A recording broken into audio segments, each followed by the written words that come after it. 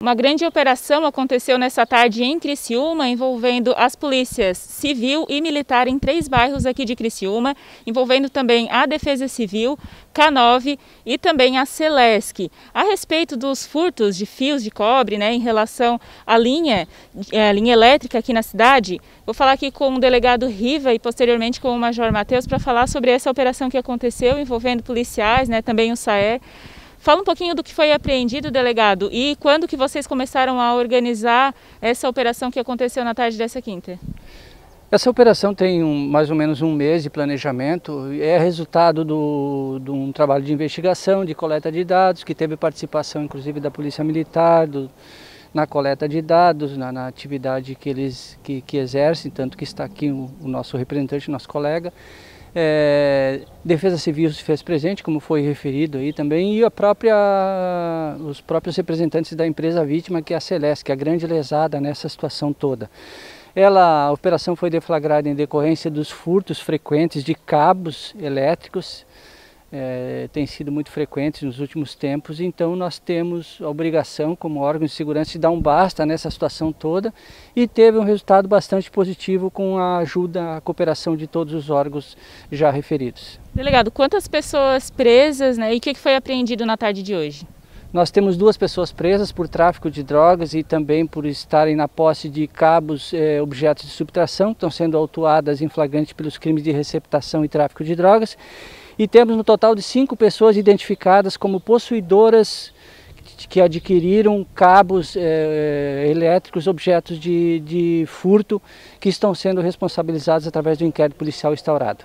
Delegado, nesse caso, qual é a pena para quem furta os fios, né? Que na verdade, nesse caso, a Celeste acaba sendo a grande prejudicada, né? Arcando com um prejuízo também. Qual é o, é, a pena para quem furta e também para quem compra, né? Já que existe esse mercado porque realmente tem quem recepta. Em média, a pena pode chegar a oito anos, trata-se de, de, de, receptação qualificada. O comerciante ele tem que ter muito cuidado nessa questão. Se ele está adquirindo na qualidade de comerciante, embora não seja um comércio legalizado, a pena é maior, é muito maior que uma, uma subtração qualquer ou uma receptação qualquer de uma pessoa física. O pessoal está vendo aí nas imagens, o SAER fez as imagens então de toda a operação também. Em quais locais que foram encontrados esses fios, né? E também a droga que foi apreendida, qual de, falando desses bairros um pouquinho e a maioria deles estava em qual local? Bairro Paraíso, aqui próximo da delegacia, aqui, as localidades bem próximas da delegacia, e os locais que foram, que foram objeto de busca, foram oito mandados de busca, são três bairros, Rio Maina, esse bairro e mais o bairro São Luís, todos em Criciúma. Mas eram estabelecimentos, também foi feita essa operação em casas, né, em locais particulares também ou mais empresas? Todas, todos os estabelecimentos, clandestinos ou regularizados. É, ferros velhos, basicamente ferros velhos. Local, local que se comercializa cabos de energia, que se comercializa objetos é, encontrados na via pública ou até subtraídos, como foi detectado nesse momento durante a operação. Certo, a gente conversa aqui também um pouquinho com o Major Matheus, da Polícia Militar aqui de Criciúma, fez parte da operação, Major. Então, falando das ocorrências, né, a gente até conversava um pouquinho antes aqui de começar a gravação, porque essas ocorrências são frequentes da Polícia Militar, né, de furtos também. Falando um pouquinho dessa frequência que vocês atendem aqui em Criciúma, o combate ao crime, nesse caso, que também dá prejuízo né, para as empresas e para os moradores também. Exato, foi uma operação que contou com um número significativo de policiais, entre policiais civis e policiais militares, em torno de 60. Nós não temos dúvida que em relação ao aspecto preventivo é bastante positivo, porque esses furtos são cotidianos e você focando naquelas pessoas que são os receptadores, nós acreditamos ali que haverá sim uma diminuição, é claro que o trabalho ele continua, mas temos ali a certeza que a operação foi bastante exitosa. E realmente, como você falou, é frequente Principalmente nós temos ali um grande problema com usuários de droga, pessoas de alguma vulnerabilidade social que acabam cometendo esses furtos, né? Principalmente da rede elétrica que traz um grande prejuízo ali para a instituição que é a fornecedora de energia, no caso a Celesc.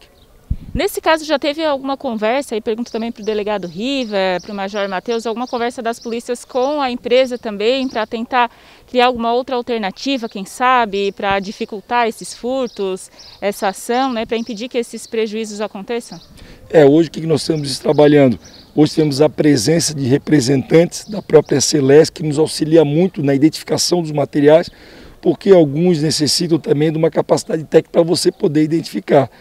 Acredito que tanto na Polícia Civil como na Polícia Militar as reuniões são constantes para poder viabilizar ações que, que tentam é, inibir, tanto no aspecto preventivo, parte da Polícia Militar, como no, no aspecto investigativo, parte da Polícia Civil.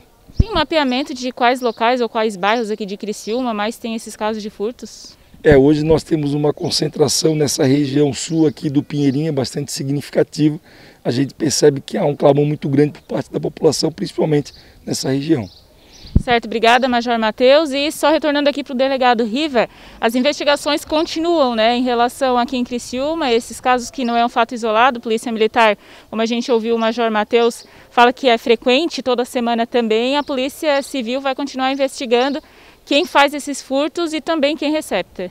Exato, nós estamos atentos, estamos investigando e as pessoas com certeza serão responsabilizadas. É, o comerciante, como eu havia comentado principalmente, e até o comerciante que tem algo clandestino no fundo de quintal. Se ele não estiver atento quando adquirir o objeto, quando, no momento de adquirir algum objeto dessa natureza, ele irá responder e será preso com certeza. Certo, obrigada, delegado Riva e Major Matheus, da Polícia Civil e Polícia Militar aqui de Criciúma, mas essa operação que aconteceu na tarde dessa quinta-feira, então reforçando, envolvendo as duas polícias, também o K9, Defesa Civil e a empresa Celesc, que acaba sendo então a mais prejudicada, né, arcando com os prejuízos de fios de cobre, os furtos aqui na nossa cidade. E só então reforçando a informação, também foram apreendidos 48 gramas de maconha, 16 gramas de cocaína e mais um valor em dinheiro, R$ 1.596, com duas pessoas presas e cinco pessoas vão responder então por crime de receptação e tráfico de drogas.